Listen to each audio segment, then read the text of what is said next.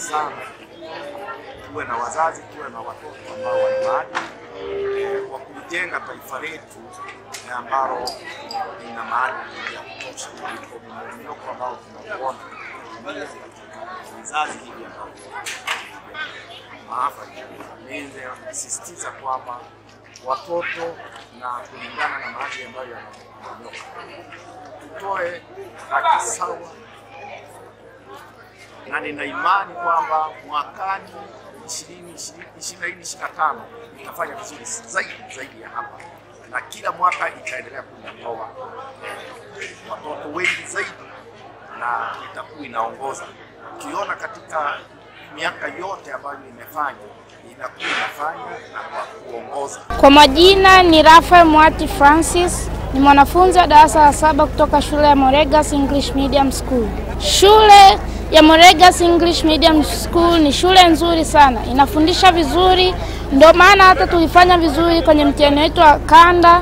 Kuhusiana na wazazi, nafurahi sana sababu wameweza kututhamini, wameweza kutuleta katika shule bora kama hii. Nawahusia wazazi kuwa wasibague jinsia. Majina naitwa Rebeka Kebese, ninasoma katika shule ya Molegas. Molegas inatoa elimu bora sana kwa wanafunzi na walimu wake pia ni, ni bora zaidi.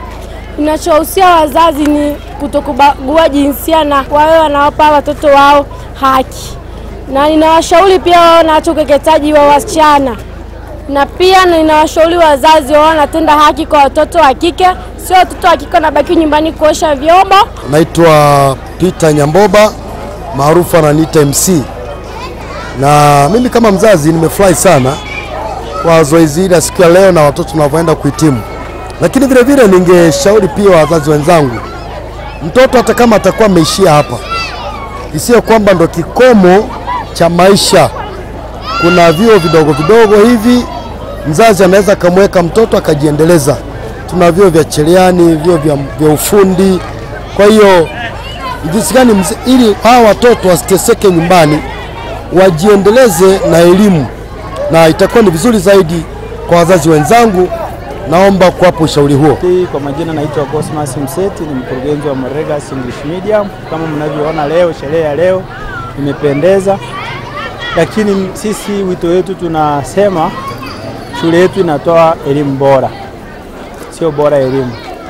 Kwa kama mlivyoona watu walivyokuja hapa leo, sherehe mahafali ya tano tangeni chukue hii shule, imependeza sana.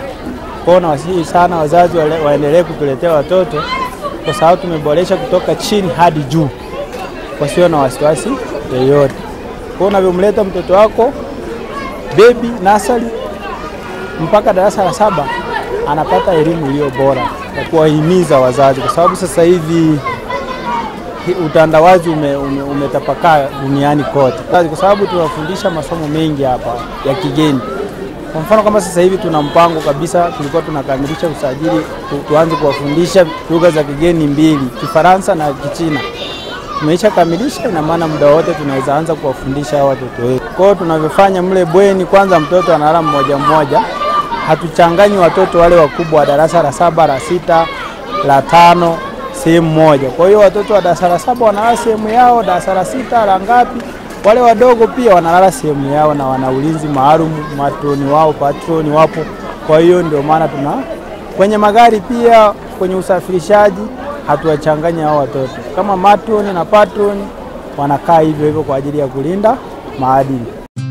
Molegas English Medium School ni shule ya awali na msingi iliyoko Siradi wilayani Tarime mkoa wa Mara nchini Tanzania. Ni shule ya kutwa na bweni yenye mazingira wezeshi kwa ujifunzaji wa mwanao. Aidha, kwa wanafunzi wa kutwa usafiri ni bora na wa uhakika kwa kumfuata mwanao nyumbani na kumrudisha bila karaha. Ewe mzazi mlezi, mlete mwanao apate elimu bora na sio bora elimu. Kwa mawasiliano, wasiliana nasi kupitia simu namba 0765 65 67 05 au 0628 94 34 24 au 0745 49 41 02. Wote mnakaribishwa.